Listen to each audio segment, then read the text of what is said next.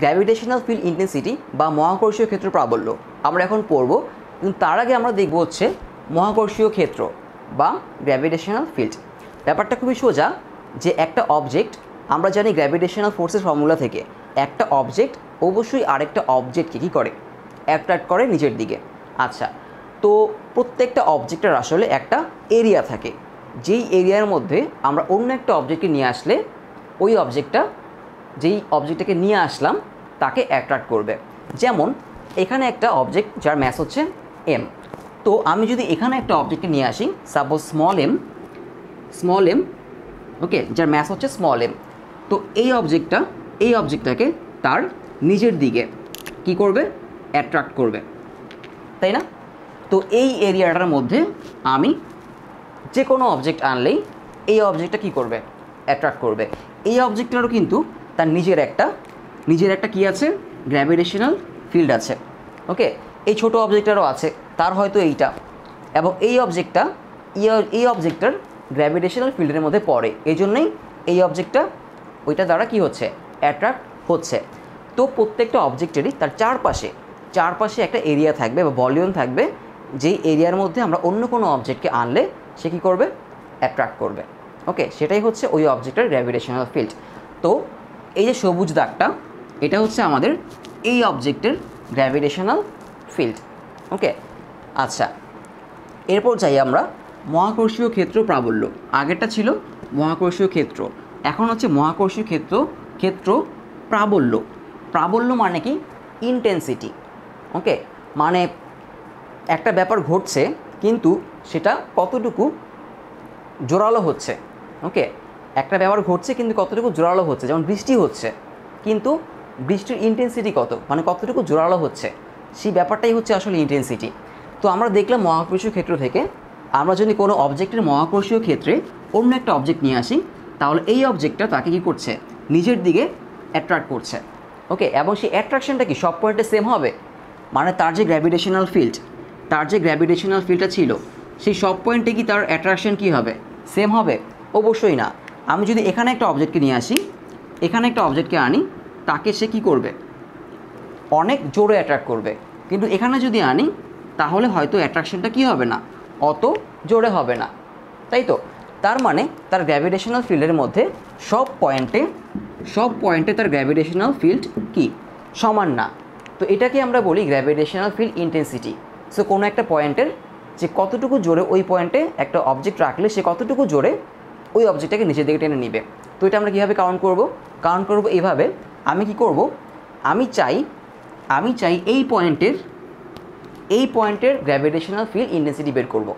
ওকে যে এই পয়েন্টে কোনো একটা অবজেক্টকে রাখলে ও কতটুকু জোরে অ্যাট্রাক্ট করে। ওকে তো এই পয়েন্টে আমি একটা এম প্রাইম ম্যাসের একটা অবজেক্ট রাখলাম। এম প্রাইম ওকে আচ্ছা তো এম প্রাইম ম্যাসের অবজেক্টটাকে এই অবজেক্টটা নিজের দিকে এফ ফোর্সে অ্যাট্রাক্ট করল।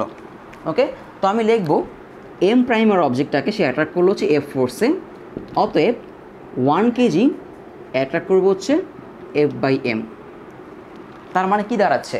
আমি যদি এখানে এম প্রাইম না রেখে যদি একটা ওয়ান কেজির একটা অবজেক্টকে রাখি ওয়ান কেজির একটা অবজেক্টকে রাখি, সেই ওয়ান কেজির অবজেক্টকে সে অ্যাট্রাক্ট করব হচ্ছে এফ বাই এম এই ফোর্সে এটাই হচ্ছে এই পয়েন্টের আবারও বলছি, এটাই হচ্ছে এই পয়েন্টের গ্র্যাভিটেশনাল ফিল্ড ইন্টেন্সিটি তার মানে ডেফিনেশন হচ্ছে ডেফিনেশন হচ্ছে আমরা যদি কোনো একটা পয়েন্টে ওয়ান ইউনিট বা ওয়ান কেজি ভরের বা ম্যাসের একটা অবজেক্টে রাখি, সেই অবজেক্টটাকে আমাদের এই যার এটা গ্র্যাভিটেশন ফিল্ড এই বস্তুটা যে বলে আকর্ষণ করবে, সেটাই হচ্ছে আমার ওই পয়েন্টের gravitational field intensity okay so এটা হবে হচ্ছে আমার equal to equal to F by M মানে ওয়ান ইউনিট ইউনিটের একটা ম্যাসকে ওয়ান ইউনিটের একটা ম্যাসকে যেই ফোর্সে অ্যাট্রাক্ট করে, সেটাই হচ্ছে ওই পয়েন্টের গ্র্যাভিটেশনাল ফিল্ড ইন্টেন্সিটি আর ইন্টেন্সিটি কিন্তু একটা পয়েন্টের হয়, এটা সবসময় মাথায় রাখতে হবে।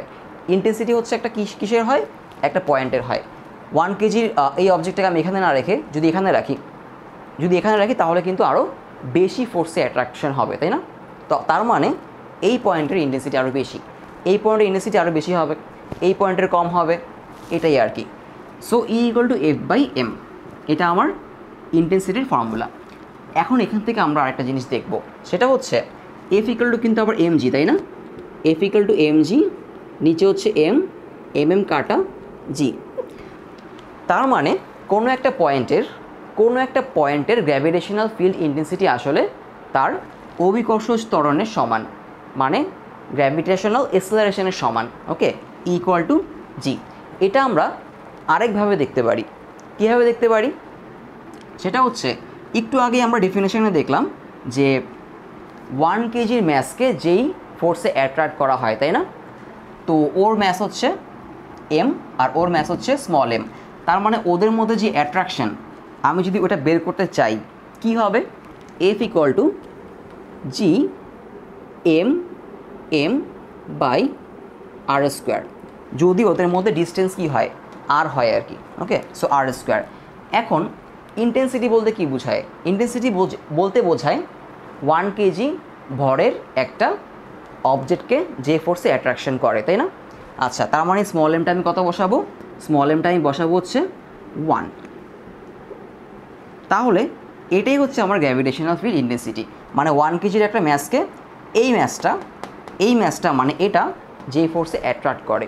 সো এটাই হচ্ছে আমার gravitational field intensity E okay তার মানে দেখা যাচ্ছে G M by R square মানে জি এখান থেকেও আমরা এটা বলতে পারি ওকে তো এটা আমাদের কোথায় কাজে লাগবে?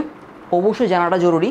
আর দ্বিতীয়ত হচ্ছে এক্সামে ওকে এক্সামে এটা বলবে যে শো দ্যাট মানে দেখাও যে কোনো একটা জায়গার অভিকর্ষ অভিকর্ষ স্তরণই আসলে মহাকর্ষীয় ক্ষেত্রে প্রাবল্য বা উল্টাটা, যে মহাকর্ষীয় ক্ষেত্রে প্রাবল্য কোনো একটা বিন্দুর বা কোনো একটা জায়গার মহাকর্ষীয় ক্ষেত্রে প্রাবল্য, ওই স্থানের অভিকর্ষ যে ত্বরণ মানে জি এর সমান।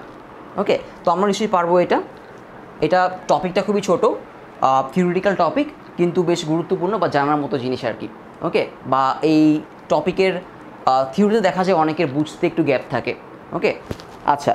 তো আমাদের এর পরের টপিকটা হচ্ছে মহাকর্ষীয় বিহব সেটাও এটার, প্রায় এটার মধ্যে একটা টপিক তো আমরা দেখি মহাকর্ষীয় বিহবে আমাদের জন্য কী থাকে।